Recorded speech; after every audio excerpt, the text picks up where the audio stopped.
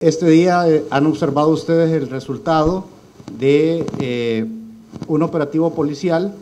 mediante el cual se ha logrado la detención de ocho personas que anteriormente eh, ejercieron su labor en el Ministerio de Justicia y Seguridad.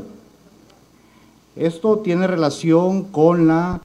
fundación de la denominada Asociación Yo Cambio, conocida como Asocambio que se encargaba de la administración de las tiendas penitenciarias.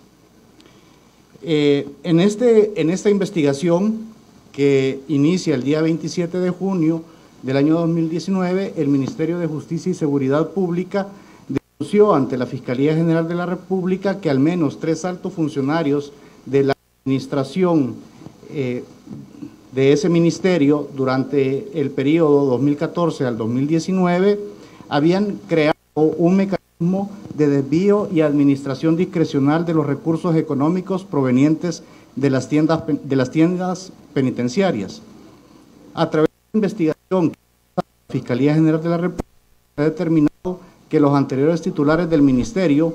fungían al mismo tiempo como directivos de la asociación de carácter eh, privado, administrando sin ningún tipo de control y sin aplicar la ley de adquisiciones y contrataciones de la administración pública las compras que realizaban, lo cual hace inmune al control y los principios de dicha ley eh, establece para las compras realizadas por el Estado. Hay que considerar el gran flujo de capital que estas tiendas manejaban. Y esta era una mala práctica que venía funcionando desde al menos el año 1998. Develamos una nueva forma de enriquecerse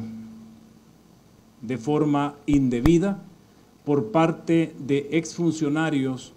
del gobierno del FMLN en el periodo del expresidente Sánchez Serén. Esto, aunado a las formas que ya conocemos de llevar dinero a sus bolsillos y no colocarlo en escuelas, en educación, en, salud y en seguridad, devela definitivamente ese modus operandi en contra siempre de la población salvadoreña.